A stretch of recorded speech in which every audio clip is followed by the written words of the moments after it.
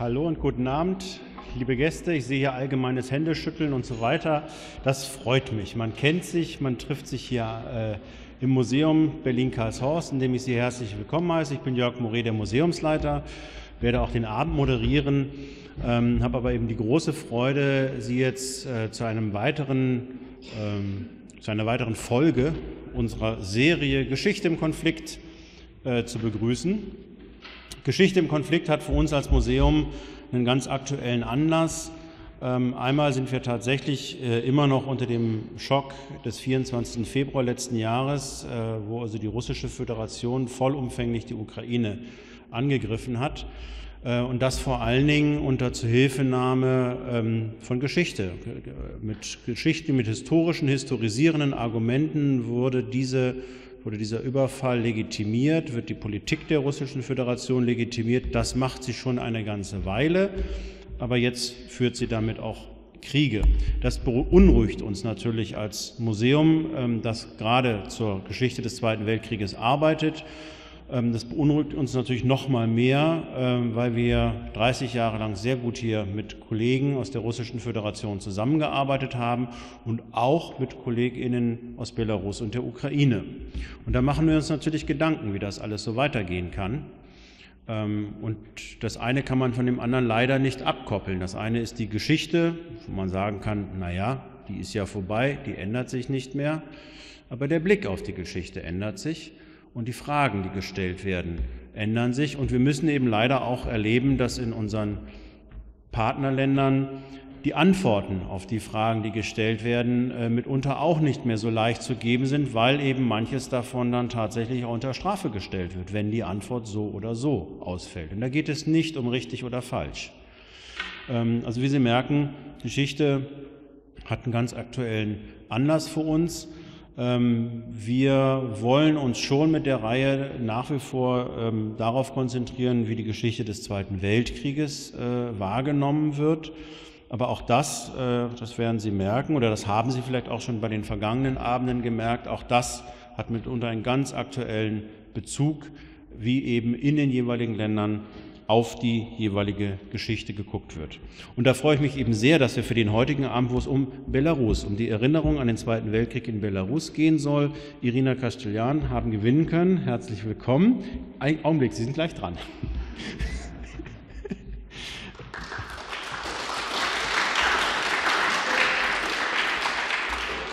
Genau. Ähm, Frau Castellan ist jetzt faktisch aus ähm, Bremen zu uns äh, angereist, wo sie seit 2000 21 äh, in einem Postdoc-Studium ist am Institut für Europastudien. Ursprünglich ähm, kommt sie aber aus Minsk, hat dort auch Geschichte studiert, in den späten 90er Jahren äh, dieses Studium dann Anfang der Nullerjahre abgeschlossen und hat sich dann relativ früh auf die ja, Oral History, auf die Altersgeschichte mündliche Überlieferung von Altersgeschichte konzentriert, was dann eben auch ab 2011 so ein Arbeitsschwerpunkt für sie war, ähm, dass sie dort in, in Belarus an, in einem Archiv für mündliche Geschichte, für Oral History ähm, gearbeitet hat und dort Projekte koordiniert hat. Und darüber ist sie ganz eng in den Kontakt gekommen mit der sogenannten Geschichtswerkstatt Minsk ähm, die sehr wertvolle Arbeit äh, geleistet hat, gerade auch zur Aufarbeitung der Geschichte unter deutscher Besatzung. Äh, und dort äh, war sie ähm, für die Bildungsprogramme zuständig und nachher dann die Leiterin der Geschichtswerkstatt Minsk international, an der internationalen Bildungs- und Begegnungsstätte Johannes Rau. Und musste dann auch ein bisschen unfreiwillig hier nach Deutschland kommen und da ist sie jetzt eben an der Universität Bremen. Ansonsten sind, ich bin wirklich gespannt auf den Vortrag. Ähm, wir haben eine halbe Stunde plus minus ausgemacht. Im Augenblick sage ich eher plus bitte, weil ähm, das Podium noch nicht ganz vollständig ist. Ähm, ich werde trotzdem jetzt einfach das jetzt schon mal abarbeiten, damit ich das nachher nicht tun muss. Ähm, wer schon da ist, ist äh, Professor Dr. Anke Hilbrenner. Herzlich willkommen.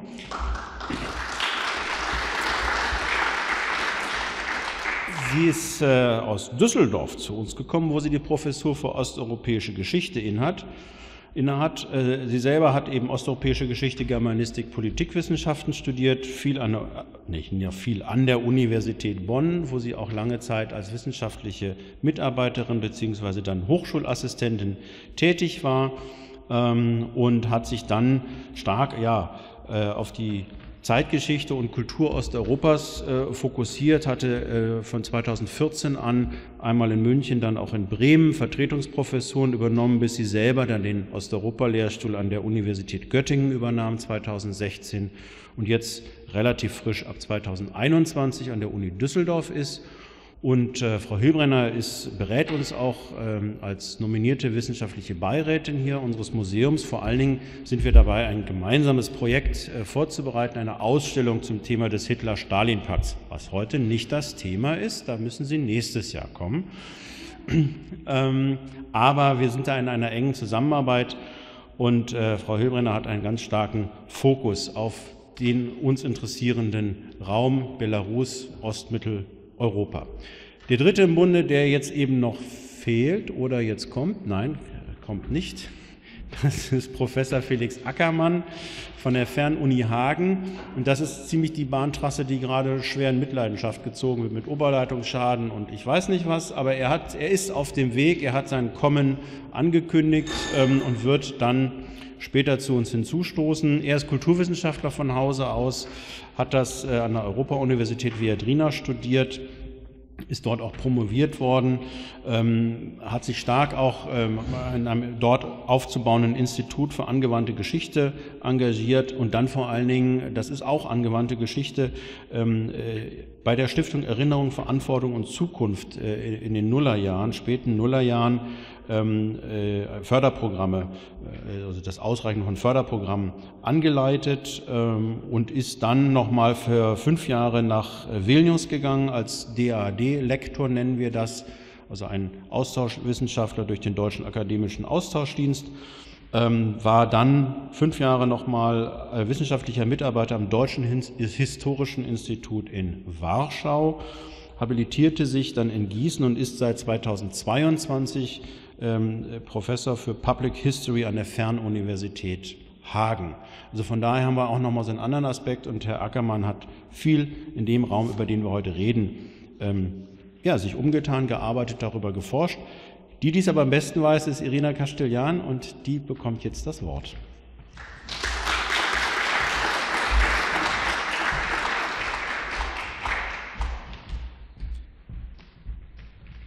Vielen Dank für diese nette Vorstellung. Ja, und auch für Einladung für solche tolle Veranstaltung äh, vom Museum Harlshorst, Herr Moret. Sehr geehrte Damen und Herren, ich bin sehr froh, dass diese Diskussion über Belarus gibt. Das ist eine große, äh, ups, kann helfen? Ja, sorry. Ähm, dass es diese Diskussion über Belarus gibt und es ist ein großes Thema angekündigt, zu dem ich heute einige Impulse geben werde und ich hoffe, dass wir eine produktive Diskussion führen werden. Belarus ist einer der Regionen im Osten Europas, die während des Zweiten Weltkriegs am meisten unter der nationalsozialistischen Besatzung gelitten hat. Das Trauma in der Gesellschaft hält bis heute an. Viele, die sich für das äh, Zweite Weltkrieg in Europa interessieren, kennen Timothy Snyder Studie Blattlands. Der Historiker kommt in Dankeschön. Äh, kommt in seinen Untersuchungen zu dieser Region Europas zu dem Ergebnis, dass kein anderes europäisches Land so schwer im Zweiten Weltkrieg gelitten hat wie Belarus. Über Spezialität, äh, Spezifität zu sprechen, äh, wir sagen, wie bei Snyder Sie gelesen haben, dass die Hälfte ein Bewohner getötet oder zwangsumgesiedelt waren. Nach unterschiedlichen Schätzungen auch soll man sagen über Juden, die in, unter nationalsozialistischen Besatzung bis zu 90 Prozent äh, starben. Das entspricht ungefähr ein Drittel aller während des Zweiten Weltkriegs auf diesem Gebiet getöteten Menschen. Juden wurden allein deshalb ermordet, weil sie Juden waren. Auch zu beachten ist die spezifische administrative Aufteilung des Gebiets unter der Besatzung. Gewöhnlich orientieren sich die Forscher an der Situation im Generalkommissariat Weißrutenien, obwohl dieses weniger als die Hälfte des heutigen belarussischen Territoriums einnahm.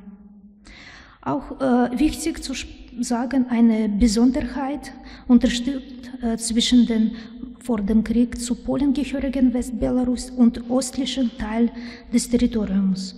Und äh, damit äh, verbindet ist äh, auch äh, Situation, wenn Sie können in zwei Teile von Belarus fragen, wenn Krieg angefangen war, können Sie verschiedene Antworten finden. Im Osten 41, am Westen 39. Belarus auch äh, war vollständig überzogen von einem Netz von Ghettos.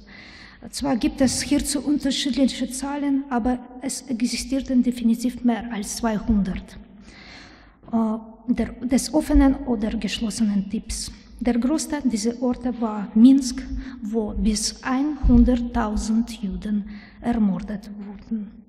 Darunter nicht nur Einwohner der Stadt, sondern auch viele aus Europa deportierte. Allein schon die Zahlen erschrecken. Doch ist es wichtig, sich nicht nur auf diese zu fixieren, sondern zu verstehen, dass sich dahinter menschliche Schicksale verbergen.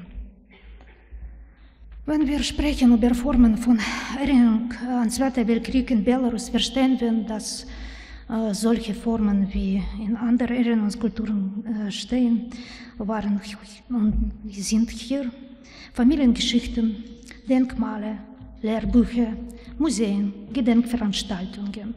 Und äh, angefangen seit sowjetischer Zeit, heute, das ist nicht äh, Thema, aber insgesamt kann man sehen, dass viele Denkmäler entstanden in diesem Fall mit stark, stärkerer Betonung der Heroisierung, weniger des Opfers, sehr typische Formen haben. Äh, oft äh, kann man finden kollektives Bild des unbekannten Soldaten. Gleichzeitig, wenn wir erinnern, wie wichtig Holocaust-Thema für äh, diese Zeit äh, von Krieg war, Juden in sowjetischer Zeit bleiben zumeist Fremde. Im sowjetischen Narrativ schloss das Problem des Völkermordes an den Juden aufgrund ihrer nationalen Zugehörigkeit aus dem öffentlichen Diskurs aus. In dieser Zeit, wir sollen erinnern auch, dass Leute wollten erinnern und Memorial Grube ist ein gutes Beispiel. Wenn Sie gucken, hier an diese Obelisk äh, existiert seit 1946, äh, einrichtet äh, dankbar Angehörigen der Opfer mit ein Inschrift auf Jiddisch und Erwähnung von Juden, was zu Sowjetzeiten außergewöhnlich war. Und äh, Juden sammelten sich regelmäßig, auch in sowjetischer Zeit, auch wenn äh, offizielle sowjetische Behörden waren dagegen. Zu erinnern an Pogrom zwischen 2. und 3. März 1942 in Minsker Ghetto. Auch zu sprechen äh, über Schicksale von anderen Opfern von Holocaust. Bis jetzt das ist wichtigste Erinnerungsort an Holocaust in Minsk. Das geblieben in Landschaft von Erinnerung in Minsk, auch in 2000 durch äh, Leonid Levin äh, Team. Hier war entwickelte Erinnerungsstätte, aber bis jetzt, das ist nicht offizieller Ort, wo Leute sich sammeln zu erinnern am Opfer am 9. Mai.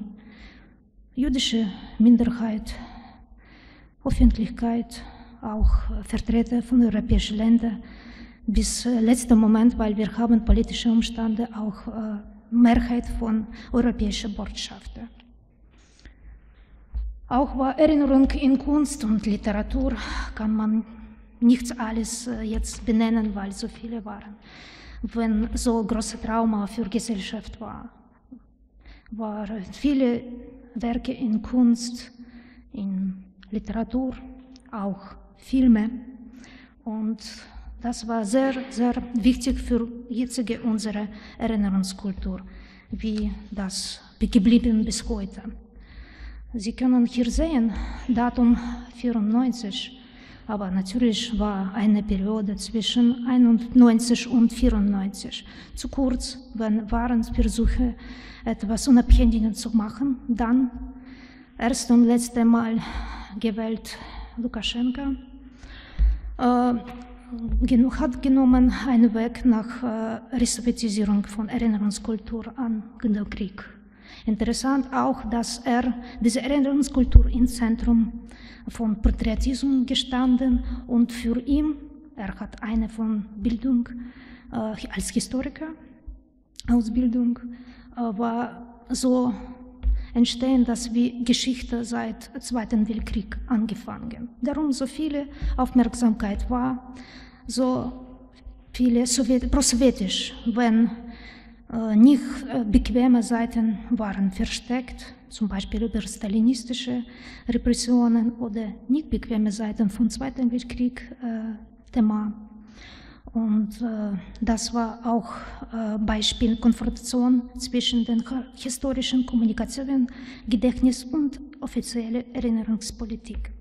Wenn wir äh, gucken, wie kann das sehen, diese Aktualisierung und Ergänzung der äh, sowjetischen Praktiken kann man wissen, dass Lukaschenka angenommen als unabhängiger Tag, 3. Juli, äh, das auch mit äh, Zweiten Weltkrieg verbindet, wenn in 1945 äh, war Belarus, äh, Minsk befreit. Und regelmäßige Parade mit vielen Waffen bis jetzt kann man sehen an diesem Tag. Auch viele Denkmale zu Partisanen, Stalini, Stalins Linie entstanden. Großvaterländisches Kriegsmuseum als Zentrum von offizieller Erinnerung, auch Bildung, war transformiert äh, in neue Gebäude. Und wenn Sie sehen, wie es sieht aus, können Sie verstehen, welche Richtung diese Erinnerung hat was wollen Sie zeigen. Aber was war interessant in dieser Zeit und bis 2020, dass parallele Welt in Erinnerungskultur war, wo Leute könnten kritische Meinung äußern, wo viele interessante, zeitgemäße Erinnerungsprojekte waren. Dankbar NGOs, dankbar viele Organisationen aus verschiedenen äh, Ländern, sie könnten äh, auch digitale Projekte realisieren, Häftling, ehemalige Häftlinge helfen. Dazwischen kann man sehen zum Beispiel heute genannte Geschichtswerkstatt Leonid Levin in Minsk, kann man auch erinnern, so internationale Projekt auf Wanderungsausstellung über Trostinetz, wo auch zum Beispiel die äh, ermordeten Juden Europas teilgenommen. Auch äh, diese äh, Ideen waren realisiert äh, in viele Gedenkstätten, äh, Denkmale für verschiedene Opfergruppen. Hier auch kann ich nicht alle zeigen, aber nur Beispiele, dass so viele verschiedene Seiten vom Zweiten Weltkrieg kann man in Denkmale sehen. Über Kriegsgefangene, über Holocaust-Opfer oder Opferpatienten in psychiatrischen Krankenhäusern. Gerechte unter der Volke, Kinder und so weiter. Und äh, sehr sensibel, so gute Orte auch mit Jugendlichen zu arbeiten, dass sie können erinnern. 2020 äh, ja, war überraschend für viele Leute in Belarus. Und äh, wenn wir sagen, nicht nur über gefälschte äh, Ergebnisse von Wahlen und auch äh, Repressionen danach äh, sollen wir auch über Kampf der Symbole sagen, die jetzt auch Gesellschaft teilen. Von linker Seite kann man sehen äh, weiß-rote weiße Fahne, historisch seit äh, 1917 und auch äh, offizielle Fahne zwischen 91 und 95, bevor Lukaschenko nicht gesetzliche Referendum dagegen macht und auch äh, zurückgenommen Symbole aus sowjetischer Zeit seit 51. Und jetzt, äh, wenn am Anfang wollten Leute zusammen sie bringen, jetzt ist nicht möglich, weil rechte Symbole jetzt mehr äh, assoziiert mit Gewalt von Lukaschenko-Regime. Und äh, von anderer Seite, Lukaschenko-Regime probiert alle Leute, die Unabhängigkeit, äh, Freiheit wollen, als Narzissten betrachten, wenn sie sagen, dass diese Symbole, weiß-rote-weiße, als Narzisst, äh, narzisstisch betrachtet sein soll. Und wir können ein bisschen sehen, in Konfrontation von 2020, wie auch äh, Erinnerungskultur an Trauma des Krieges hier war inkludiert, so heißt, äh, wo von einer Seite waren Situationen, wo wichtige Orte mit Erinnerung an den Krieg äh, verbindet, äh, war Situation, wenn verschiedene äh, Seiten probierten zeigen, dass für sie, das ist wichtig und sie irgendwie, so wenn kann man sagen, Kontrolle haben, so zum Beispiel wie in Male Trestenetz oder mit, mit Großvaterländisches Kriegsmuseum. Auch gleichzeitig äh, war Problem, aktive äh, Verwendung von Begriffen aus Kriegszeit, äh, aktuelle Situation zu beschreiben, Völkermord, Konzentrationslager, Faschisten und so weiter. Sie können sehen hier zum Beispiel ein Mensch mit äh, Stern, wo ist geschrieben äh, Artikel, äh, welche war benutzt gegen Protestierte äh, für Bestrafung. Auch Sie können sehen hier eine Seite von Propaganda Zeitung, wo es geschrieben, dass äh, Svetlana Tikhanovskaya und Nawalny Führer von Opposition. Und äh, ja, von einer Seite wir zuerst als äh, Team von Geschichtsverstaat probierten äh, reagieren, aber wir verstanden, das äh, ist nicht so möglich, weil Trauma in diese und das dauert bis jetzt war so tief und äh, kein Abstandseiten haben wollen. Und äh, mit Zeit, wenn mehr Repressionen waren, weniger über Protestierte zu hören, aber Situation von offizieller, so Regimeseite so entwickelt, dass sehr oft äh, Hassrede ist benutzt. Nicht nur diese Seite von dieser äh, Zeitung, aber auch andere, wo sie können gegen Opponenten solche Wörter als Ausreise, Schimmel, Verräter und so weiter benutzen. Und äh, wie die Situation entwickelt sich, äh, auch äh, sehr wichtig, ein Case von Genozid am belarussischen Volk oder Bevölkerung, das hängt ab von Teil von Jahr, wann das war, äh, vorgestellt durch Regime. Und äh, für uns bis jetzt ist Frage, wie unabhängig war äh, diese ähm, Interesse von Regime, dieses Thema zu benutzen, ob, ob das war unabhängig oder verbindend mit Russland. In diesen Prozessen, die wir jetzt haben, sehr abhängig von Russland sind. Und äh, auch wir können sagen, in Russland über Case von Genozid am sowjetischen Volk. Und sehr viele Dinge können Vergleich sein. In Repressionen immer Frage, äh, welche von Ländern ist weiter.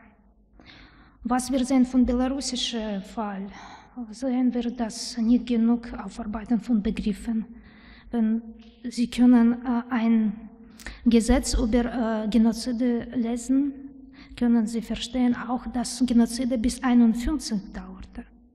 Und das ist auch ein Weg, wie kann man äh, schuldig äh, äh, Nachbarn machen. Polen oder Ukraine. In Belarus nach dem Krieg waren vier antisowjetische äh, Underground. Und das ist sehr einfach, äh, so Leute schuldig äh, zu sagen. Und zu dieser Zeit, das funktioniert, dass Leute können festgenommen sein, wegen ihrer Meinung, alternative Meinung über diese Erinnerung. Und äh, wir haben schon wenigstens einen Fall von Künstler Pushkin, der Porträt von antisowjetischen äh, Teilnehmer von antisowjetischer Resistenz gemacht, für fünf Jahre in Gefängnis mitgebracht war und hier äh, gestorben. Äh, ja, und äh, Problem ist, äh, wenn das könnte sein als Prozess, wenn internationale Experten beteiligt wären, wenn breiten Zugang zu Archivmaterial, zum Beispiel verschlossene Archiven des KDB oder Innenministeriums oder ermöglichen würde, könnte das solche Initiative für Bewahrung des historischen Gedächtnisses nur begrüßt werden. Aber wir sehen auch zum Beispiel, wenn wir sich gucken am äh, re rechten Ecke, dieses Buch heißt äh, Genozide von belarussischen Volk, am belarussischen Volk. Und Sie können auch äh, am Umschlag sehen zwei Fotos. Eine von Zeit von Krieg, zweite von Zeit von 2020. Und kann gerade direkt verstehen, worüber geht. Und hier meistens Materialien sind nicht über Geschichte, aber über Schradfälle gegen Protestierte, die zur Zeit für, von Veröffentlichung waren nicht beendet. Und äh, ja, Problem ist, dass nicht so Historiker, aber Staatsanwalt hier entscheidet. Und wir sehen, äh, das offizielle Minsk hier befasst nicht mit Problemen des historischen Erinnerung. Er führt ein banales Propagandaprojekt durch, darauf aufzählt, die demokratische Bewegung zu diskreditieren, instrumentalisiert dabei schamlos die Geschichte des Krieges. Wie entwickelt das? Am 21. hatten wir ein Datum, 80 Jahre von Anfang des sowjetisch-deutschen Krieges. Und äh, waren geplant verschiedene Veranstaltungen auch bei uns, aber war abgelehnt, weil war sehr starke Regimesreaktion in dieser Zeit, weil war vierte Falle von Sanktionen. Und hier kann man sehen, neue Rhetorik, das bis jetzt äh, benutzt ist. Vereinte Europa unter der Führung von Nazi-Deutschland einen totalen Krieg gegen unser Volk entfesselt hat. Die Geschichte wiederholt sich und danach neue Kollaboratoren mit kollektiven Westen hybriden Krieg gegen das belarussische Volk entfesseln. Ja, was ändert sich seit 2020? So, seit 2021. Und wir können sagen, jetzt dazu kommt diese Komplizenschaft mit dem russischen groß angelegten Angriffskrieg gegen die Ukraine von Regime. Und das gemeinsame deutsch-belarussischen Aktivitäten zur Erinnerung an den Zweiten Weltkrieg und kritischen Reflexion zu Ereignisse Vergangenheit de facto nicht möglich macht jetzt. Äh, weil Strategie des Regimes äh, ist zuerst Oppositionelle zu unterdrücken, auch Instrumentalisieren Erinnerung und Diffamierung von politischen Gegnern als Faschisten und darum Arbeit von abhängigen Organisationen, da sich zuvor für die belarussische deutsche Aussonung, Forschung und Bildungsaktivitäten mit verschiedenen Zielgruppen durchgeführt haben, daher innerhalb von Belarus unmöglich. Wie sieht richtige ideologische Dimension? Patriotismus überall, auch von Kitas. In 2022 war 9. Mai ohne Wortkrieg. Das ist auch über so verbindete mit Russland Prozesse. Jetzt Genozid ist überall, ist im Feld, in jedem Unterricht äh, diese Thema inkludieren. Auch äh, neue Bücher sind geschrieben, Staatsanwalt kontrolliert. Gleichzeitig wir sehen, dass äh, ist Zerstörung zum Beispiel von Gräber, die nicht bequem sind. Wir wissen wenigstens über 13 Fälle, wenn Gräber von Soldaten der Armee Krajowa vernichtet waren. Und das ist nicht nur darum. Und ja, gleichzeitig interessant Fall, was wird äh, zu sehen in kurzer Zeit, äh, dass sie wollten positive äh, Ursache, so Grundlage finden und das war 17. September als Datum von 39, so wie Tag von Einheit. Wenn richtig äh, niemand äh, so viel unterstützt.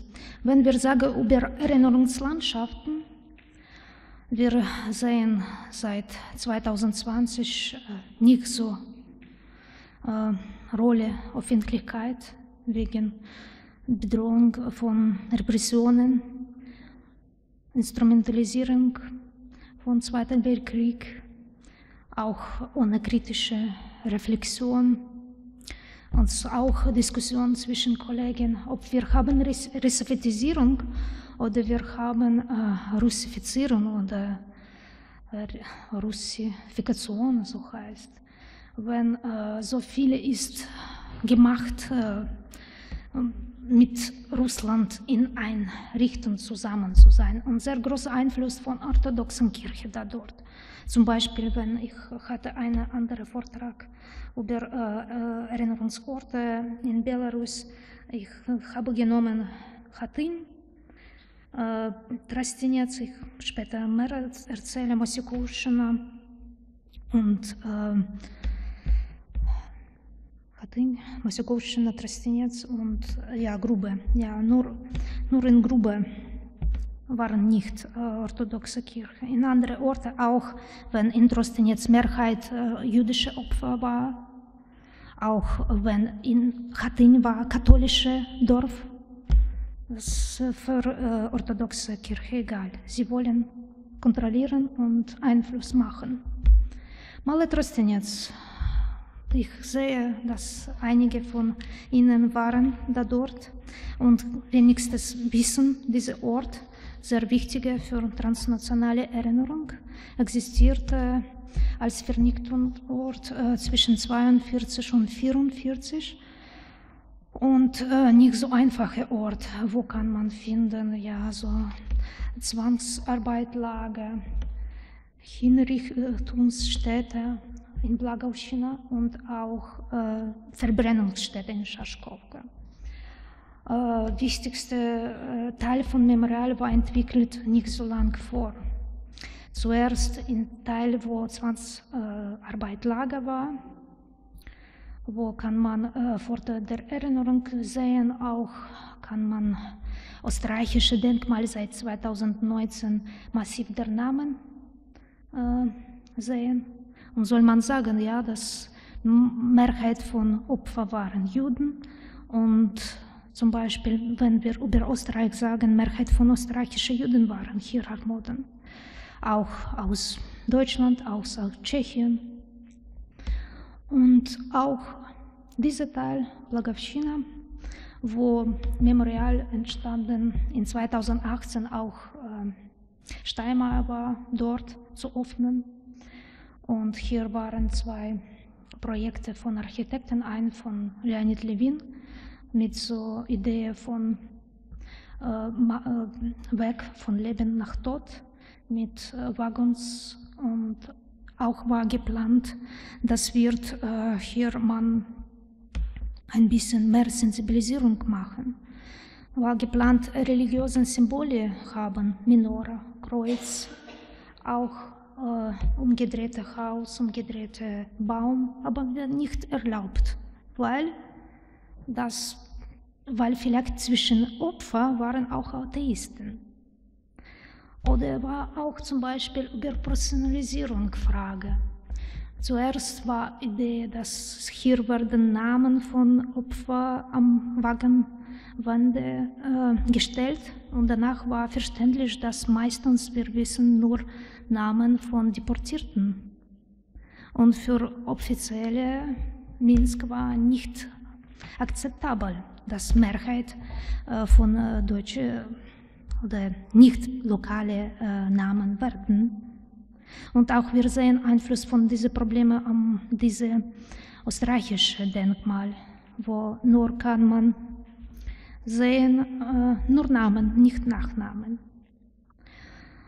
Aber was äh, ja, auch äh, zu sagen über Namen, zuerst vor dieser Blagowschina Gedenkstätte war, waren Initiativen zu erinnern und zum Beispiel immer aus Österreich regelmäßig nach Trostenetz äh, kamen und hier äh, gelbe Inschriften mit Namen am Bäume gehängt haben.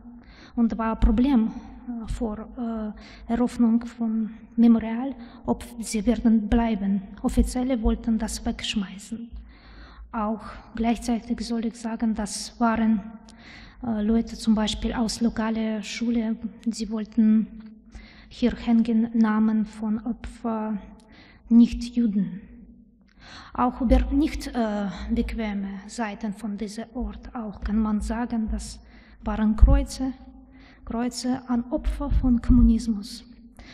Am im ersten Tage von Krieg Häftlinge von Minsk Gefängnis mit Enquedisten durchgenommen waren. Einige waren sehr schwach, dass sie könnten nicht weitergehen und sie einfach ermordet hier waren. Leute hier Kreuze gemacht in Erinnerung an diese Leute. Sie waren nicht unter Gericht so nicht gesetzlich so als Verbrecher genannt, aber einfach getötet.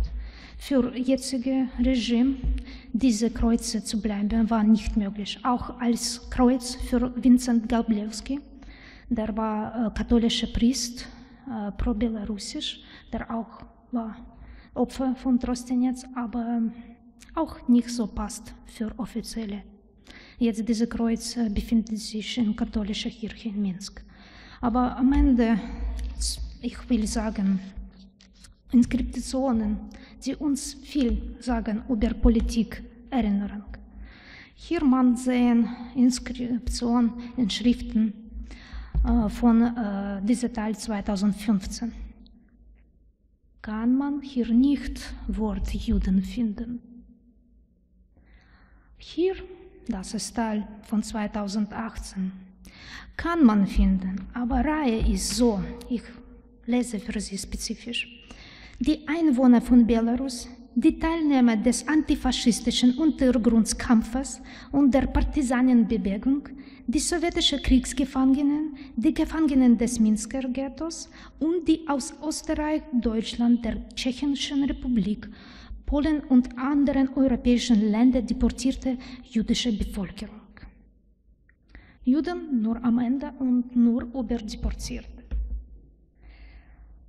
Frage ist auch, was jetzt ist. Und äh, ich habe ein Foto von 2022. Orthodoxe Kirche, sie will äh, eine, ein Museum hier in Trostenetz machen. Wir haben Informationen, dass sie wollen neue Zahlen über Trosteniec berichten und eine von Tendenzen auch von dieser Instrumentalisierung mehr Zahlen zu zeigen, dass sie wollen Zahlen nehmen, mehr als 500.000 Opfer dort. Das war auch nicht in sowjetischer Zeit akzeptiert. Oder auch hier stellen ein Polizist mit dieser weiß-rote-weiße Fahne am Hand. Auch Frage. Aber was sie machten in diese Inskript, ja, in äh, Memorial kann man lesen, vielleicht oder ich lese für Sie äh, Point, äh, Punkt 25 äh, über diese österreichische Denkmal. Das ist äh, Denkmal vernichtete österreichische Bürger. Massiv der Namen. Und das ist wie zurück, Rückkehr. Und ich will meinen Vortrag beendet mit Fragen zu meiner Kollegin, was weiter äh, machen und auch wenn wir wissen, dass teilweise Akteure, mit wem wir so viele unabhängige Projekte gemacht haben, jetzt helfen Instrumentalisierung von Krieg. Auch einige von Zeitzeugen sind bis jetzt geblieben. Vielen Dank.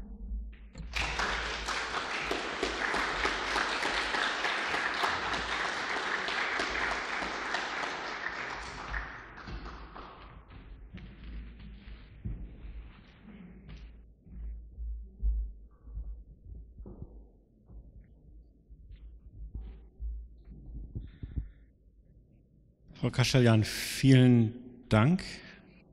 Das müssen wir jetzt, glaube ich, erstmal ein bisschen sacken lassen. Und die Frage, die Sie zum Schluss gestellt haben, die schiebe ich jetzt auch noch mal ein bisschen nach hinten. Wir haben ja jetzt noch ein bisschen Zeit, das zu diskutieren. Hm. Ja, wenn sich alle was eingegossen haben, so ein bisschen angekommen sind. Und was getrunken haben, gebe ich einfach mal fragenlos weiter. Ja, ähm, kann man, ja, man kann mich hören. Ja, ganz herzlichen Dank, Irina, für diesen ähm, tollen Vortrag, den ich vor allen Dingen deswegen so äh, spannend finde, weil er ähm, uns den Blick darauf ja geöffnet hat. Ähm, und ja, das hast du mit deinen Fragen ja auch gezeigt, was eigentlich nach 2020 ähm, passiert mit der Erinnerung. Und das ist ja ein, ein sehr dynamischer Prozess. Und eigentlich ähm, glaube ich, war der Moment, wo wahrscheinlich viele von uns oder viele, die, die eben auch mal nach Belarus gucken, voller Interesse, ähm, ja am, am aufmerksamsten waren oder überhaupt, wo ins, ins allgemeine Bewusstsein vieler Menschen in Deutschland die Erinnerung an den Zweiten Weltkrieg in Belarus äh, gedrungen ist. Ein Ereignis, das du ja auch erwähnt hast, als ähm, äh, Frank-Walter Steinmeier 2018 ähm, in Mali jetzt war, um eben diesen Erinnerungsort gemeinsam mit äh, Lukaschenka einzuweihen. Und ähm, ich glaube, dass das ähm, eben ja so ein, so ein wichtiger Moment war, der gleichzeitig, der auch so ein bisschen der, dieser Höhepunkt war, dieses transnationalen Erinnerns, äh, für das äh, Mali Trossin jetzt steht und vielleicht aber auch äh, ja der Moment, wo, wo das dann auch bergab schon wieder ging. Ne? Auch wenn, oder das waren dann ja nur zwei Jahre zwischen 2018 und 2020. Und ähm, ab dieser Zeit ähm, hast du ja beschrieben, wie stark äh, die Erinnerung an den Krieg auch von unterschiedlichen Akteuren missbraucht wird. Und ich wollte ähm, vielleicht ganz kurz nochmal eben verstärken, was du auch gesagt hast und den Blick darauf äh, lenken, dass, ähm, äh, dass eben Mali Trostin jetzt wirklich ein ganz interessanter Ort für die Erinnerung an den Zweiten Weltkrieg ist. Also vor allen Dingen natürlich für die Erinnerung an die Ermordung äh, der jüdischen Opfer, sowohl der aus dem Minsker Ghetto, der, der äh, belarussischen äh, jüdischen Opfer, aber natürlich in großer Zahl der Deportierten aus, äh, wie du ja auch gesagt hast, aus Deutschland, aus, äh, aus Österreich und aus Tschechien. Ähm, dass, diese, äh, dass man eben auf diesem Gelände, und du hattest das, das Bild ja mitgebracht, äh, da kann man ähm, sehen, wie, wie verschieden, also verschiedene Opfergruppen, verschiedene Zeitschichten der Erinnerung, das ist alles da. Ne? Also man sieht die sowjetische Erinnerung, auch wie in der Sowjetunion, an diesen Ort, an die Verbrechen der Deutschen während des Zweiten Weltkriegs erinnert wurde. Ähm, den Obelisk hast du ja auch gezeigt, der an einem ganz anderen Ort steht. Und dieses Gelände ist riesengroß und es gab ganz viele unterschiedliche äh, Verbrechensorte, es gab viele unterschiedliche Opfer und auch viele unterschiedliche Initiativen zu ganz unterschiedlichen Zeiten, die dort, ähm, die dort eben versucht haben, äh, an die äh, Opfer des, äh, der Verbrechen zu erinnern. Und dann äh, gab es eben diese, diesen Moment, wo alles so ein bisschen zusammengekommen ist ne? und wo dann eben dieser, dieser große Erinnerungsort äh, ja, aufgebaut und gestaltet wurde, an den im Jahr 2018, äh, der im Jahr 2018 erinnert wurde. Und ähm, das wäre vielleicht auch so ein bisschen meine Frage, aber ähm, das war ja, also du hattest ja vorher auch erzählt, wie, unter, also ne, wie, wie eben verschiedene Initiativen, auch die Geschichtswerkstatt daran mitgearbeitet haben. Und auf einmal war es aber ja was, was die belarussische Regierung auch mitgetragen hat. Ne? Und ähm, also ich habe das so verstanden, als ob das auch ja eine Instrumentalisierung dieser Holocaust-Erinnerung durch die Regierung auch damals schon war, um eben damit auch internationale ähm, ja eben zum Beispiel Steinmeier zu empfangen, auch den österreichischen Ministerpräsidenten war, glaube ich, damals auch da und, äh, und eben Erinnerung auch als sozusagen politisches Mittel zu nutzen. Und von daher, das wäre eben meine weitere äh, Frage, ähm, ob das, was dann nach 2020 passiert ist, möglicherweise auch so eine Folge davon war. Ne? Also weil ja dann auch Erinnerung äh, ja sozusagen politisch äh, genutzt wurde. Und das fand ich interessant, dass du das auch gezeigt hast, dass es ja von den verschiedenen Seiten auch politisch genutzt wurde. Ne? Also einigermaßen schockiert war ich zum Beispiel über dieses Bild mit dem gelben Stern ähm, und das äh, ähm, genau und dass, dass eben äh, diese Genoziddebatte ähm, ja auch zeigt, dass eben dieser, dieser Begriff des Genozids ja eben auch einerseits an die Erinnerung an den Zweiten Weltkrieg anknüpft, aber sich andererseits ja ganz beliebig offensichtlich mit so einem eigenen Opfernarrativ äh, aufladen lässt. Ich klinge mich mal kurz als, als Moderator ein. Ähm, bleiben wir mal kurz vielleicht erstmal bei Malet Trostinetz. Diese Debatte um Genozid, das ist hochspannend, auch sehr komplex.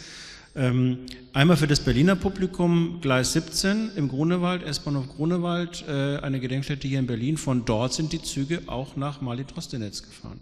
Also das ist eine direkte Verbindung hier zwischen Berlin und, und diesem Vernichtungsort. Und wenn Sie am U-Bahnhof Wittenbergplatz gucken, äh, gibt es eine große Tafel, die diverse Vernichtungsorte nennt. Und als letzte Tafel ja, lange Zeit sichtbar neu angebracht, ich weiß nicht, wie das jetzt ist, Malitrostinetz. Also ein, ein, eine ganz späte Erinnerung, die an diesen Ort, zumindest in Deutschland, überhaupt erst ähm, einsetzt. Und da möchte ich nochmal einhaken. Also sozusagen aus deutscher Sicht haben wir das Gefühl, wir haben alles richtig gemacht. Wir haben diesen Ort aus dem, dem Vergessen entrissen.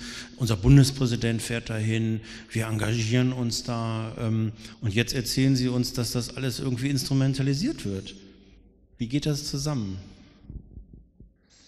Sehr, sehr leicht geht zusammen. Immer Regime instrumentalisiert Möglichkeiten mit West.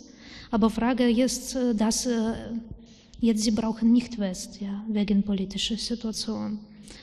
Und äh, auch wenn Situation, äh, war die Gedenkstätte in Maletrostinetz in Bodovchina eröffnet, auch viele Fragen waren. Ja, zum Beispiel Geld war von deutscher Seite, Geld von belarussischer Seite, wer was wollte haben und diese Verabredungen und was klappt, was nicht klappt. Und das war nicht so einfach, auch wie mit Wanderung, Ausstellung. Das wird Rastinetz. Das war in verschiedenen Ländern äh, gleiche Kopie als in Belarus, aber vor das in Belarus entstanden, das war eine Zensur von dieser, zum Beispiel über, was ist geschrieben um über 39. Ja, wer hat begonnen und so weiter. Ja, und auch ich wollte sagen dazu, ja, auch über diese Stellen und so weiter. Wenn wir sind Spezialisten und wir denken, dass alle können orientieren, wir können so haben Situationen, wenn wir verstehen das nicht so. Und äh, Frage ist äh, für mich mit 2020, dass auch äh, ein bisschen Hoffnung eröffnet, dass Leute können lernen, für Zukunft besser zu verstehen, was Begriffe bedeuten und worüber in Vergangenheit waren. Weil vor 2020 unabhängige Gesellschaft mehr orientiert am versteckten Themas und mehr am stilistischen Thema so nicht so viele wollten mit Erinnerungskultur am Zweiten Weltkrieg zu tun, weil so immer war äh, denken, das ist zu langweilig, das ist immer über Patriotismus, das ist nicht interessant. Aber in meiner Familie Erinnerungen am Opfer von Stalinismus sind äh, und wir sollen helfen. Und mit dieser 2020 äh, für viele Leute, die früher nicht aktiv waren, sehr lange Zeit vor äh, waren in der Schule. Und Frage ist, in, in welche Schule, ob zum Beispiel nicht in sowjetische. Und äh, plötzlich sie angefangen zu interessieren. Und auch äh, wir, wir sehen, das äh, war Versuch von einer Seite, Symbole zu finden. Einige könnten auch so sowjetisch orientiert, so wie Benennung von anderer Seite als Faschisten zu benutzen. Andere auch könnten für sich öffnen, dieses Holocaust-Thema. Und äh, Frage ist, dass äh, Arbeit mit Gesellschaft, dass sie mehr verstehen, dass es nicht so einfach zu benutzen, das ist für Zukunft. Aber Leute waren in großer Schock, wenn Gewalt benutzt war. Und diese Frage über Fremde und äh, wer, diese Gewalt gemacht, das war offen. So Faschisten, das ist immer Verständnis als äh, fremde Personen, stalinistische so Enquedisten, das mehr als eigene. Und das ist auch interessant über Entwicklung von Perzeption von dieser Gewalt und wer schuldig sind, äh, mit welcher Thema zu verbinden und jetzt äh, diese protestierte Seite mehr äh, versteht das wie verbindete mit stalinistischer Zeit, weil sie verstanden, dass lokale Bewohner, so diese Milizen und so weiter, diese Gewalt gemacht, nicht so Fremde wie von diesen Archetypen oder Bewusstsein von alter Zeit, vom Zweiten Weltkrieg ist, dass sie waren, ich weiß nicht, von Russland mitgebracht, das war auch eine Einrichtung zu, sprechen, wer waren diese Leute.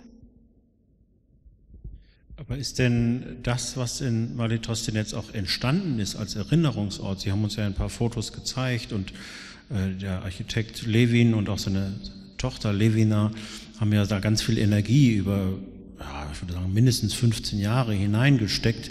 Ähm, ist das jetzt alles kaputt oder ist das wertlos? Ist das, äh, ja, wird das wieder abgerissen oder wird es umgedeutet? Also was passiert jetzt mit diesem Ort, wo man ja eigentlich das über einen langen Zeitraum das Gefühl hatte, da wird etwas aufgebaut und wir sind einen Schritt vorangekommen. Ähm, ja, ist das alles vergebens? Für mich mehr schmerzlich wird, was wird mit der Geschichtswerkstatt Leonid Levin, das ist eine von alten Gebäuden im Gebiet von Minsker Ghetto. Was über äh, Maletristinetz ist, äh, was jetzt steht, ich denke, das bleibt. In Schriften können ändert sich, aber in Zukunft, äh, ich hoffe, das wird äh, zu kritischer Reflexion bringen und neue, erneuerte Gedenkstätte wird.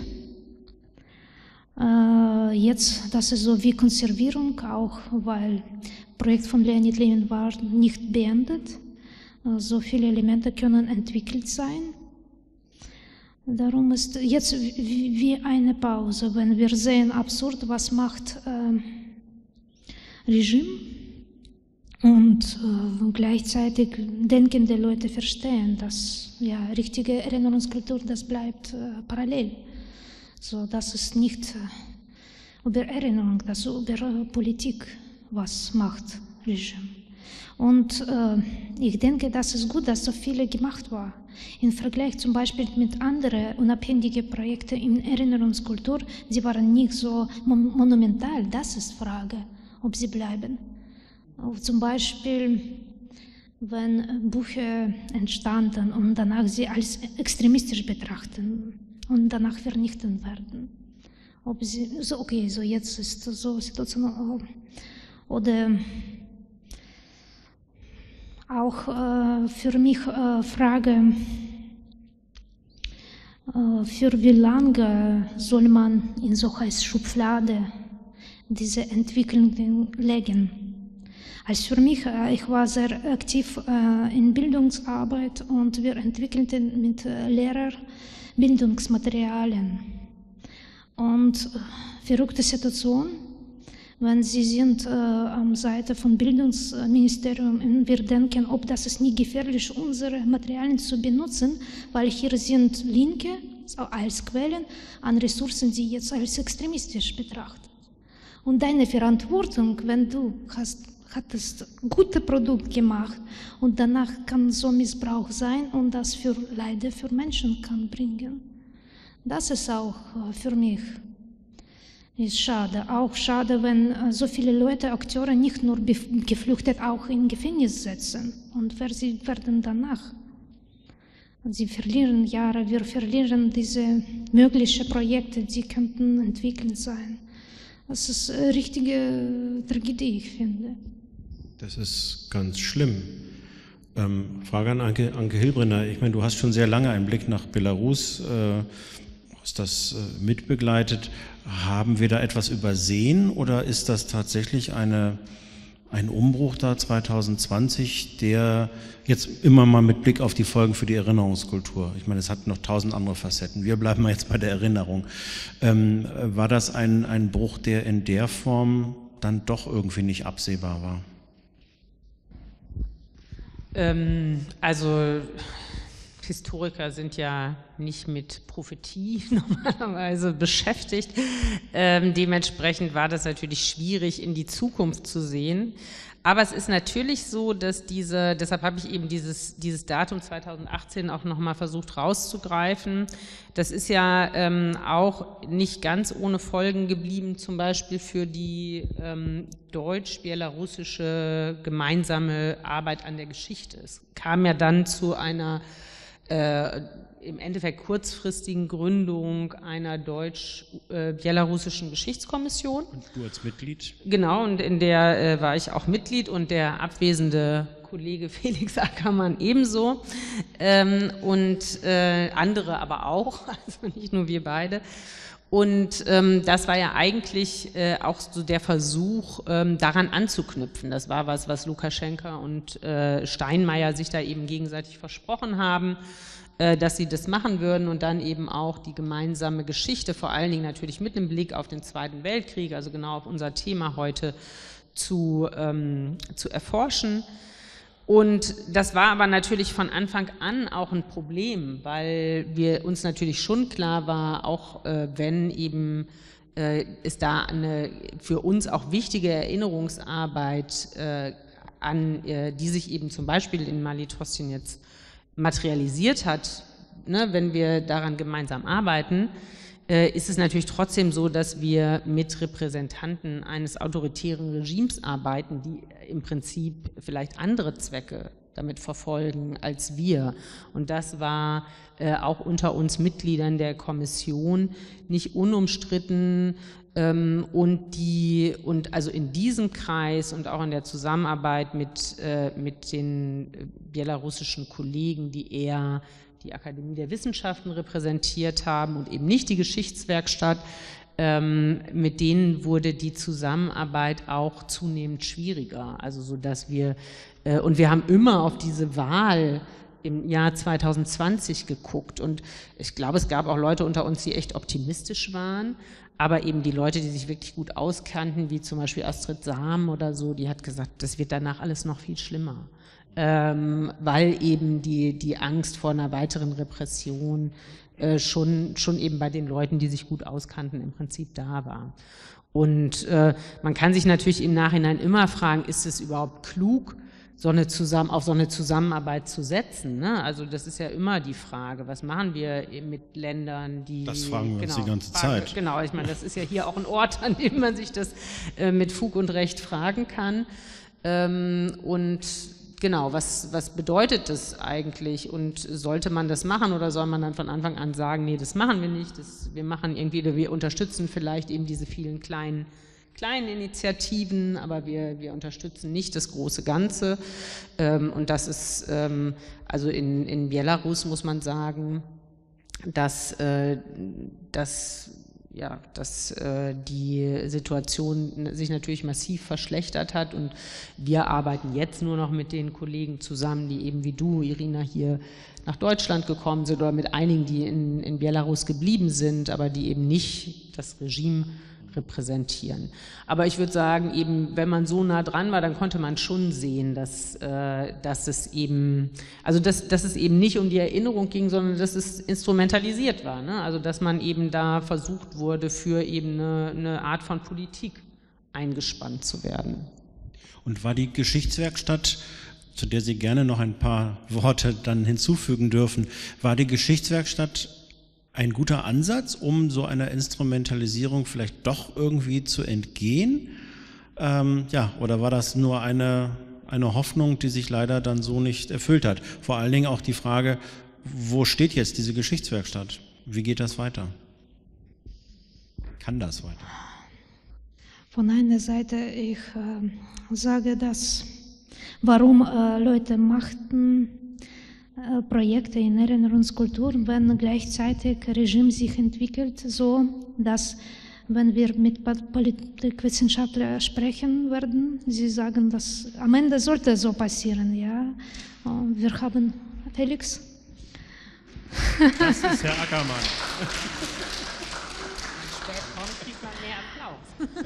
ja, ja.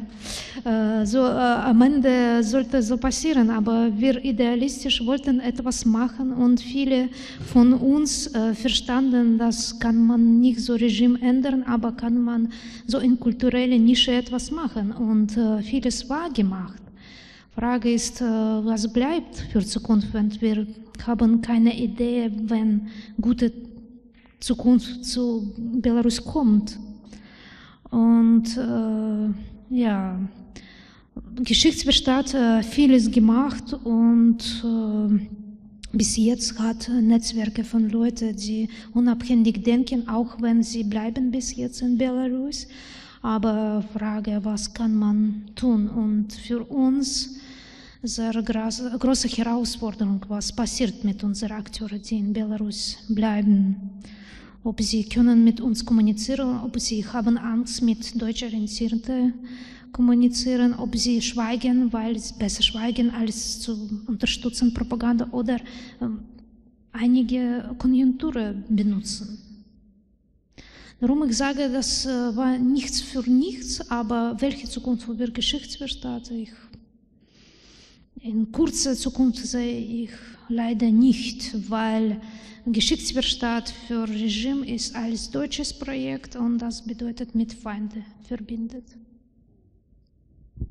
Und das sage ich jetzt mal hier äh, in den Saal. Die Geschichtswerkstatt hat also wirklich, ist es ein altes Gebäude in dem Gebiet, in dem das äh, Minsker Ghetto war und hat eine ganz fantastische Arbeit geleistet über 20, hm, fast 25 Jahre, ne? Seit 2003. Ja. Also ganz großartig. Ja, Felix Ackermann ist da, hurra. Äh, er darf ein bisschen zuhören und äh, da er aber ein meinungsfreudiger Mensch ist, wird er sich dann eigeninitiativ einbringen. Ähm, das ist jetzt wirklich ein frustrierender Moment, muss ich wirklich sagen. Ich versuche trotzdem jetzt mal ein anderes Thema noch anzuschneiden. Genozid am belarussischen Volk, am sowjetischen Volk, das, was, das Volk, was wir mit dem Begriff Genozid verbinden, der Holocaust, der Mord an den, an den Juden wird irgendwie, er kommt ja sprachlich gar nicht vor, wird zur Seite ähm, gedrängt. Ist es Ihnen überhaupt möglich, kurz irgendwie, ja, wie soll man sagen, zusammenzufassen, in welchen Etappen hier eine Erinnerung geformt wird? Oder ist das gar kein aktiver Prozess der Formung eines irgendwie gearteten Geschichtsbildes? Birgenazit, ja, das ist äh, der jetzige. Oh, das ist eine schwere, schwere Frage für mich. Ähm,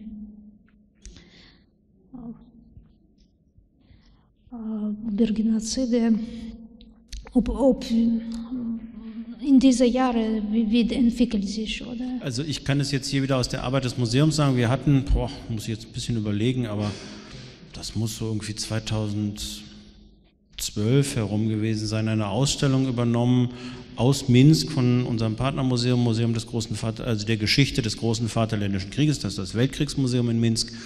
Ähm, und das, das Thema war wirklich äh, Holocaust in Belarus. Und das weiß ich noch, dass ein, ein Besucher dann hier, war im Wintergarten, so umherging und sagte, ganz erstaunlich, eine Ausstellung über den Holocaust und kein einziges Wort über Juden. Mhm. Ähm, das fiel damals dann schon dem deutschen Publikum auf. Ähm, und gut, wir haben damals noch sehr tapfer, möchte ich mal fast sagen, gesagt, na ja, in anderen Ländern wird eben anders auf die Geschichte geschaut. Das ist ja unser Ansatz, dass wir dann eben Ausstellungen, die thematisch erstmal ähm, einen Anknüpfungspunkt haben an unsere Arbeit, ähm, dass wir sie eben zu uns holen und dann können wir uns das angucken und auch das Berliner Publikum kann es angucken. Ähm, aber schon damals war eben der, wie soll man sagen, der Gegenstand der Betrachtung, das Thema, war schon weg. Und ähm, ja, das ist natürlich jetzt etwas, was ich mir in der Rückschau äh, dann auch vor Augen halte. Äh, was, was hast du damals übersehen? Äh, nein, übersehen habe ich nichts.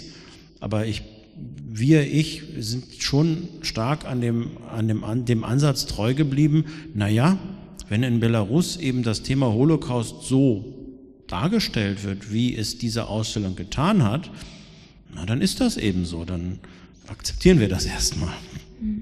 Sie äh, verstanden, dass das war mit offizieller Ausstellung, aber waren so viele verschiedene Projekte, auch äh, am kleinen Orte in ehemalige Städte, wo Leute sich getroffen und äh, auch kann man hier verschiedene Informationen finden über Holocaust, auch in verschiedenen Orten von Belarus entstanden Bücher über Holocaust, aber das war mehr über Initiative von lokalen Historiker, aber nicht offizielle. Und äh, wie ich sagte in meinem Vortrag, das war sehr verbindet im offiziellen Diskurs mit äh, dieser sowjetischen Beziehung, wo Juden waren nicht so zu sehen. Wir, sehen, wir wissen, dass nur äh, am 2008 Lukaschenko war erst einmal in Grube und äh, Grube als Memorial, nur weil war ein Skandal, wenn etwas antisemitisch er hat gesagt und dann Israel reagiert und so das eröffnet für Erinnerungskultur Thema von Holocaust, das war erlaubt mehr im Bildungssystem zu arbeiten. Aber weg, dass Holocaust als Definition im äh, Lehrbuch äh, entstanden war bis 2019. Aber in jedem Fall war mehr äh, grüne Licht seitdem, weil viele in Belarus durch äh, Behörde ist gemacht, wie Lukaschenko sagt. Wenn er sagt, so, dass unsere Richtung ist, dass wir Juden schätzen, dass die Behörde auch werden. Und äh, auch ich hatte Gespräche mit äh, Vertretern manchmal von offiziellen Historikern, sie sagten, warum du interessierst im Juden? Besser würdest du belarussische Opfer interessieren. Das war 2016, 2017. Wenn ich verstanden habe, das ist äh, bis jetzt so orientierend und nicht verständlich, dass Holocaust als Thema ist wichtig in dieser Erinnerungskultur. Und wenn wir diesen Fall von Genozid am belarussischen Volk äh, gesehen haben, zuerst Volk, wenn äh, versteckte Holocaust-Thema. Auch andere Frage, wenn Sie diese äh, Forschen gemacht haben, dass Sie manchmal auch forschte Orte mit stalinistischen Repressionen verbinden und auch gezahlt diese Opfer. Aber das ist andere Geschichte. Und auch äh, Orte, wo Holocaust-Opfer begraben waren. Und danach war geschrieben, dass es einer von Ort von Genozid von am russischen Volk. Und ich weiß, das war auch ein Protest von israelischer Seite und danach Volk als Bevölkerung genannt, als Bedeutung, dass in belarussischer Bevölkerung auch Juden sind und ein bisschen Holocaust zu erwähnen, aber in jedem Fall nicht am ersten äh, Reihe so heißt. Und so entwickelt sich, dass es von einer Seite kann man äh, denken, dass es nationale Orientierung und Gedenkkultur, aber das ist nicht so. Wenn wir sehen, wie viele am Russland orientiert, und für mich ist äh, große Frage, wie lange bleibt Genozid an belarussischer Bevölkerung, äh, bis das wird insgesamt mit Russland, diese Genozide an sowjetische Bevölkerung. Ne, ich wollte, ähm, guten Abend erstmal. Es tut mir leid, dass ich so spät bin. Ich hätte wahrscheinlich ein, zwei Züge früher nehmen müssen, so wie Anke. Ähm, aber es gab ein Unwetter in Westdeutschland ähm, und ich bin mit der Deutschen Bahn unterwegs gewesen. Bist entschuldigt. naja. ähm, ich, ich wollte dazu zwei Sachen sagen. Also zum einen ist es wirklich bemerkenswert, dass Lukaschenko selbst ähm, die nationale Karte in dem Fall spielt. Also dass es eigentlich eine Nationalisierung der Opfer äh, des Zweiten Weltkriegs und vor allem der deutschen Besatzung ist. Und dass das schon was Bemerkenswertes ist, weil wir ja diese lange Phase haben, in der die ähm, spätsowjetische Prägung, die wir auch hier in, in dem Haus sehen, also die Art, wie die Erinnerung an den großen Vaterländischen Krieg eben als Gründungsmythos eigentlich eines sowjetischen Volks äh, implementiert wurde. Das ist ja was, was lange nachwirkt in, in Belarus und auch in, in, in der russländischen Föderation und aber auch in der Ukraine und in anderen, in anderen Nachfolgestaaten. Und dann können wir beobachten, wie eben in bestimmten Staaten, wie zum Beispiel in der Ukraine, das sehr, sehr viel früher schon in den 90er Jahren aufgebrochen wird und versucht wird zu nationalisieren. Also dann im Grunde genommen ähnliche Formen genommen werden, aber ähm, eben auf dem nationalen Aspekt davon beharrt wird, also indem man, indem man sagt, das war eine, die Sowjetrepublik war was Nationales, gab da Ukrainer und so weiter. Und das war in Belarus lange nicht so. Und deshalb ist es wirklich sehr, sehr bemerkenswert, dass Lukaschenka diesen Dreh gemacht hat. Ähm, Im Grunde genommen kann man das, so, ich, ich würde das so interpretieren, dass er eigentlich in, in einem Moment, wo seine Eigenstaatlichkeit und seine Unabhängigkeit, ähm, seine Souveränität eigentlich selbst nicht nur symbolisch, sondern real bedroht ist. Nämlich, das war nach 2020, wo ihm Putin im Grunde genommen zur Seite springen musste, damit er überhaupt Herr der Lage wieder wird. Und es nochmal deutlicher wurde, wie abhängig ähm, Lukaschenka eigentlich ist hat er im Grunde genommen wenige Monate später, also er hat eine Weile gebraucht, um zu sich zu kommen und dann hat er sich eben im März 2021 hingestellt und gesagt, wir müssen von den Juden lernen. Wir müssen von den Juden lernen, wie man die ganze Welt dazu bekommt, vor allem auf die Knie zu gehen. Und das ist quasi so ein Anerkennungsdiskurs, der verknüpft ist mit, mit ähm, dem Versuch, die Souveränität von Belarus, was ja formell ein Nationalstaat ist, ob, ob einem das gefällt oder nicht, wieder ausgefüllt wird. Es ist einer formal. Ähm, und da hat Lukaschenka eben diese nationale Karte im Grunde genommen gespielt. Und was interessant ist, dass, dass das so ein, so ein semiotischer Flip ist. Also man, man tauscht im Grunde genommen die Muster, die es vorher gab für das sowjetische Volk, als Opfer, als das zentrale Opfer deutscher Herrschaft in, in der besetzten Sowjetunion, in dem ja auch unterschiedliche Völker nicht näher benannt waren, in denen Juden nicht wirklich ne, lange Zeit als zivile, also als sowjetische Bürger benannt waren und erst sehr spät genauer als jüdische Opfer und auch als Opfer des Holocaust benannt wurden. Das funktioniert jetzt eben genau als, ähm, ähm, als belarussisches Volk. Das belarussische Volk ist auf einmal das Hauptopfer deutscher Besatzung als, äh, und dann gibt es so zwei sprachliche Konstruktionen, einmal belarussisches Volk, aber ganz oft auch Bevölkerung Belarus. Also es gibt da auf russischen Trick, äh, wie man das so lösen kann, dass es eigentlich korrekt ist, weil Bevölkerung Belarus, also mit dem Genitiv, der auf Deutsch nicht richtig funktioniert, weil wir das, weil wir so tun, als hätte Belarus kein Geschlecht. Also ne, es müsste eigentlich die Bevölkerung der Belarus heißen, machen wir aber nicht. Ähm, aber in dieser Konstruktion ist es zumindest angedeutet, dass es eben nicht nur um Belarusen geht, sondern dass da auch Polen waren, dass eben besonders viele Juden waren, dass unglaublich viele sowjetische Kriegsgefangene, die eben gar nicht Belarusen und Russen waren, sondern auch Ukrainer und andere dabei waren und auch zu den großen Opfergruppen gehört haben. Und das, das ist wirklich bemerkenswert, dass das 21 passiert und, und im Grunde genommen in einem, in einem noch auch vor, vor dem vollumfänglichen Angriffs also Russlands auf die Ukraine passiert ist, weil der, der Dreh eigentlich war, dass man, also dass Lukaschenko dann im Sommer 21 zunehmend diese Geschichte mit dem Genozid am belarussischen Volk gegen die eigene Bevölkerung gedreht hat. Es gab nämlich beim Genozid an, am belarussischen Volk gab es Kollaborateure. Und die Kollaborateure, das ist die Opposition, weil die haben ja dieselben Symbole. Und das war sozusagen dann ein, eine politische Erzählung, ein Propagandainstrument, ein Mythos, wie auch immer, also einfach ein Geschichtsnarrativ, das offiziell benutzt wurde schon. Da gab es dann sofort gedruckte Bücher vom Generalstaatsanwalt, wo das auch visuell dargestellt wurde. Ne? Guckt mal, die hatten die weiß-rot-weiße Flagge im August, September und guckt doch mal genauer hin. Und dann wurden eben speziell Fotos gesucht und auch Zeitzeugen befragt, solange bis jemand gesagt hat, ja stimmt, die hatten so eine weiß-rot-weiße Armbinde, was tatsächlich auch hin und wieder der Fall war, aber nicht die Regel. Und diese, diese Konstruktion hat eigentlich noch 21 funktioniert als Mittel gegen die eigene Bevölkerung vorzugehen. Und ich meine, wir haben dann die Fluchtwelle nach, äh, nach, Bella, nach Polen und Litauen als Folge.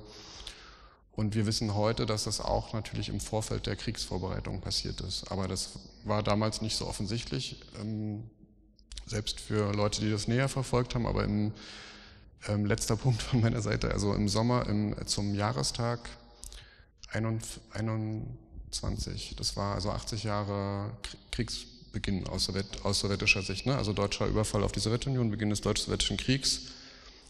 Da hat ähm, ein belarussischer Kollege, mit dem ich anderthalb Jahre in so einer belarussisch-deutschen Geschichtskommission saß, hatte in Grodno, der Stadt, mit der ich mich länger beschäftigt habe, hat er an der Universität gesagt, ähm, dass das ein Tag ist, an dem man daran erinnern muss, dass der Westen, also dass der kollektive Westen die Sowjetunion erinnert, äh, überfallen hat.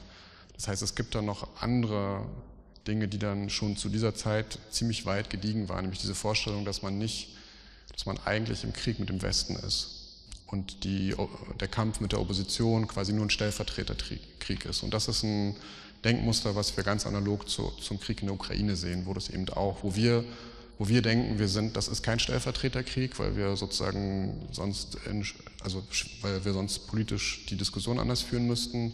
Aber aus Sicht zum Beispiel von den belarussischen Kolleginnen und auch von den Propaganda Verantwortlichen ist es total klar, dass es aus deren Sicht ein, Stellvertreterkrieg ist, weil es ein Krieg mit dem Westen ist. Und das ist interessant, dass das parallel läuft in Belarus mit dieser inneren Auseinandersetzung gegen die Opposition.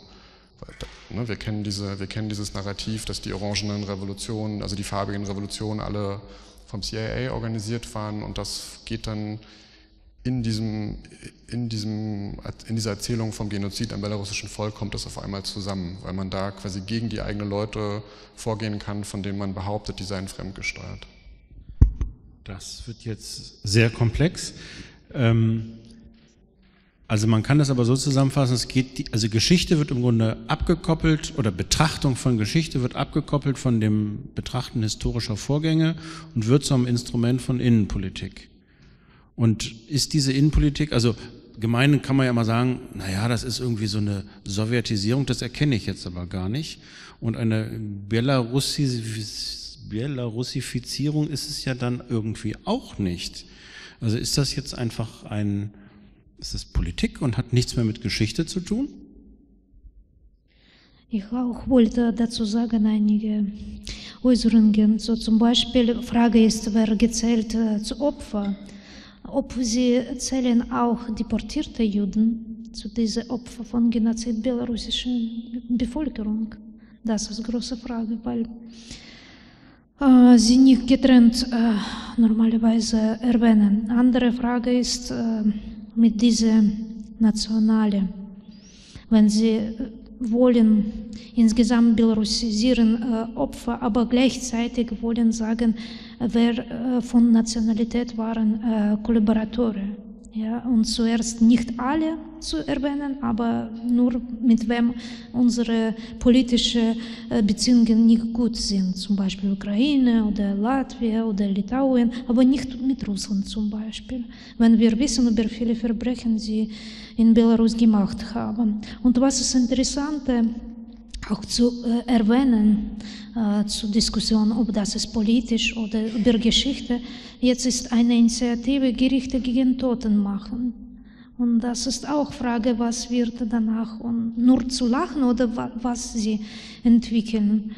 Sie äh, zuerst äh, eine Liste gemacht, äh, sagen Leute, das war Liste sehr lange Zeit äh, bekannt, so dass Staatsanwalt nicht so viele findet aber nur äh, benutzt mehr, äh, was war schon. Und äh, sie angefragt verschiedene Länder, ob sie können diese Kollaboratoren und Informationen über diese Kollaboratoren geben. Von vielen Ländern äh, war also nicht äh, akzeptiert und danach war auch Ursache politisch sagen, oh, sie sind pronazistisch, sie wollen nicht unterstützen und so weiter. Am Ende sie gefunden so eine Liste für Deutschland, wie ich erinnere, für Latvia, für Litauen, auch spezifische. Und äh, wie ich weiß, äh, wer sind erwähnt, sie sind schon tot und sie wollen Gericht gegen diese Leute organisieren. Und was das ist. Politisierung oder Geschichte? Also ich würde da direkt nochmal drauf eingehen wollen. Also zum einen würde ich sagen, dass in jedem Fall Geschichte immer Innenpolitik ist. Ja? Also wenn wir jetzt, es gibt jetzt irgendwie gerade steigende AfD-Zahlen im Osten Deutschlands, also scheinbar nur im Osten Deutschlands, also bauen wir jetzt ein Zentrum, ein Einheitszentrum in Halle. Ja? Also das ist im Grunde genommen ist es auf demselben Level und, und auch verbunden mit derselben Frage, wie funktioniert bei uns nationalstaatlich eigentlich Erinnerung und wie erzählen wir bestimmte Geschichten. Also ich denke, dass wir da prinzipiell in derselben Liga spielen. Und ein sehr gutes Beispiel, warum das ein bisschen komplizierter ist, ist eben genau die Frage der Mittäterschaft ähm, bei den Verfolgungen, vor allem in der ersten Phase der, ähm, der deutschen Besatzung, ähm, wo eben hinter, dem, hinter der Wehrmacht die Einsatzgruppen gekommen sind und da tatsächlich in, in Belarus ein großer Teil der, der Verbrechen, die gegen die Zivilbevölkerung begangen wurde, sowohl gegen Juden als auch gegen Nichtjuden, mit Unterstützung zum Beispiel von Polizeieinheiten aus Litauen gemacht wurde. Und das ist nicht, also das ist sehr, sehr problematisch und wurde zu sowjetischen Zeiten nicht aufgearbeitet, logischerweise, weil es eben benachbarte Republiken waren. Und Litauen hat auch nicht alles dafür getan, um diese Geschichte ähm, sozusagen, also um diesen transnationalen Teil der, ähm, dieser Besatzungsgeschichte aufzuarbeiten, weil der halt ähnlich problematisch ist wie die litauische Beteiligung am Holocaust in Litauen selbst. Und Ebenso problematisch ist es eben, was die deutsche Seite angeht. Ich meine, die Sowjetunion hat insgesamt mehr äh, Mittäter, egal ob, äh, ob die jetzt, also ne, die, waren, die, die waren alle sowjetische Bürger, einige von denen waren aus der Lit litauischen Sowjetrepublik, beziehungsweise streng genommen aus dem Besatz, aus dem annektierten Litauen. Äh, einige von denen waren aus Belarus, einige waren aus der Russ russischen Föderativen Republik, äh, einige aus der Ukraine, unterschiedlich. Die Sowjetunion hat mehr von denen juristisch verfolgt, verurteilt und auch zum Beispiel hingerichtet, als die Bundesrepublik und die DDR zusammen überhaupt also jemals versucht haben zu tun. Also das ist was, was, was wir, glaube ich, vergessen, dass wir, dass die deutschen Täter, die dort unterwegs waren, zum großen Teil gar nicht belangt waren. Also wenige, wenige höhere Chargen, wenige Polizeieinheiten und ein ganz großer Teil der Täter aus Deutschland gar nicht ähm, ver, verfolgt wurde in Deutschland juristisch, weil es diesen Versuch gar nicht gab. Und da ist es natürlich ein Problem, wenn jetzt vom Generalstaatsanwalt in Minsk eine Anfrage kommt nach Ludwigsburg, wo die Dokumente liegen. Wir brauchen Unterstützung, um nochmal nachzugucken, wer eigentlich diese Leute waren. Wir wollen das nochmal juristisch aufarbeiten. Dann würde ich, bin ich prinzipiell bei dir zu sagen, das ist politisch problematisch, weil der versucht, das zu benutzen, um seine eigene Bevölkerung zu verfolgen und einige der Opfer sind Historiker, die nicht mehr und, in, und auch Historikerinnen, die nicht mehr in Belarus leben und arbeiten können. Aber auf der anderen Seite gibt es das Problem, dass wir ja diese Hausaufgaben auf deutscher Seite nicht gemacht haben ähm, und damit überhaupt erst dem Staatsanwalt die, nicht nur die Möglichkeit geben, sondern eigentlich streng genommen sogar die Notwendigkeit, sich der Sache zu widmen. Also es gibt auch im Nationalarchiv in Minsk immer noch bestimmte Nachkriegsprozesse. Ähm, also einige sind jetzt besser erforscht.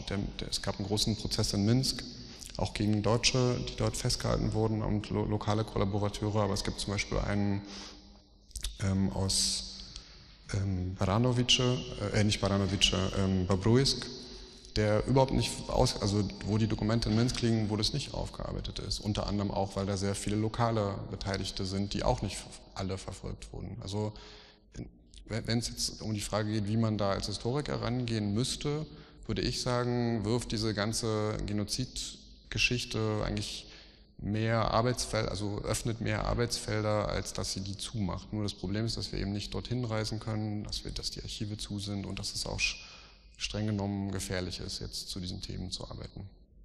Nicht nur streng genommen.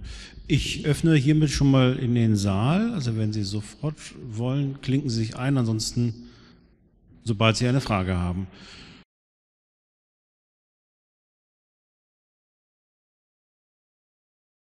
Und dann zu, zu dem ersten Teil der Frage wollte ich nur sagen, also ich finde, dass, ich finde, dass es so ist wie dem Saal. Also sie sind relativ viele. Also dafür, dass es heute um Belarus geht und den Zweiten Weltkrieg, finde ich, dass sie viele sind. Ne? Aber man, ähm, man könnte auch sagen, dass es nicht viele sind. Aber ich denke, dass es schon so, der Grund, dass sie hier sind, ist ein Zeichen dafür, dass es eine Rolle spielt. Also das wäre so, so ein Einblick darauf zu gucken. Und der andere wäre, wenn man sich überlegt, was passiert ist mit dieser Initiative, ein Denkmal für die polnischen Opfer äh, deutscher Besatzungsherrschaft zu bauen. Und ein wichtiges Argument war immer, nein, ein wichtiges Argument, dieses Denkmal auf gar keinen Fall zu bauen. Also was aus meiner Sicht äh, der Umstand, dass es jetzt bei Claudia Roth im BKM liegt, dieses Projekt ist ein sehr wichtiger Garant dafür, dass es definitiv nicht gebaut werden wird.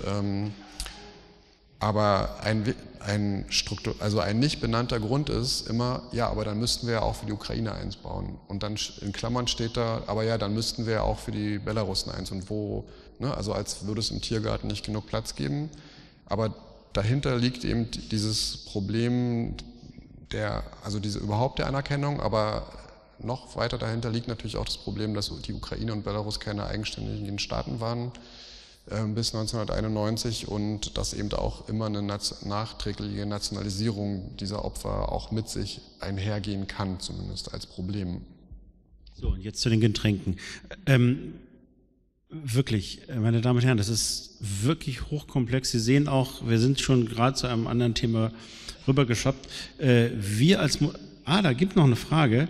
Wir als Museum sind sehr, sehr stolz auf unser Publikum. Ähm, von daher lade ich auch immer gerne äh, Leute von nah und fern gerne hierher ein. Jetzt haben wir tatsächlich noch eine Frage oder ein Statement, Jana. Ja, genau. Ich, äh, ich heiße Jana Keberlein. Ähm, es ist keine Frage. Ich wollte nur in diesem Kontext an die Frage der Verfolgung der Wissenschaftlerinnen aus Belarus äh, hinzufügen, dass äh, nach Deutschland sind deswegen sehr wenige gekommen, weil der deutsche Staat heutzutage kaum möglich, also eigentlich gar keine Möglichkeit den Leuten aus Belarus bietet, hier zu bleiben, im Unterschied zu anderen Staaten. Und es wäre unsere Aufgabe, hier alle Anwesenden uns dafür einzusetzen, dass der deutsche Staat das ändert und dass Leute Recht auf Aufenthalt in Deutschland ohne jegliche Bedingungen bekommen. Danke. So, jetzt zu den Getränken. Weil wirklich, äh, ich glaube, was, es ist alles richtig, was, was hier gesagt worden ist, aber Sie, Sie sehen, wie dicht, gerade jetzt beim, äh, in Belarus oder wenn wir über die, das Erinnern in Belarus von BelarusInnen äh, reden, wie dicht das an der, an der Geschichte ist, äh, an der Politik ist. Äh, Herr Ackermann hat es ja auch nochmal als prinzipielles Problem aufgeworfen.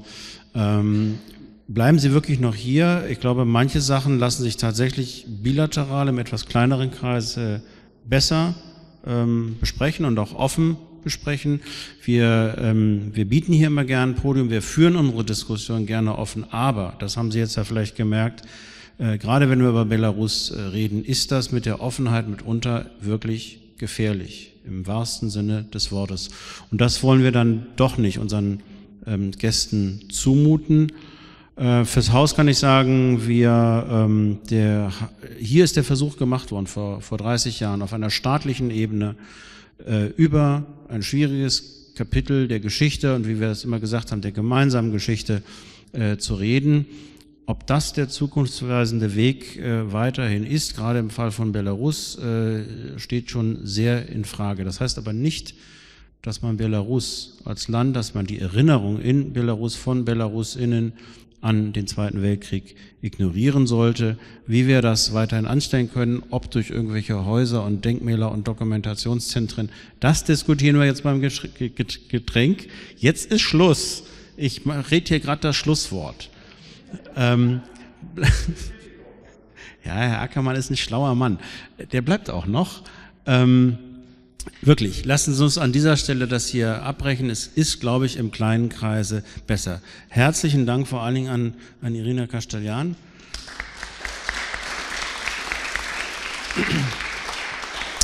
Frau Hellbrenner und Herrn Ackermann, bleiben Sie gerne noch.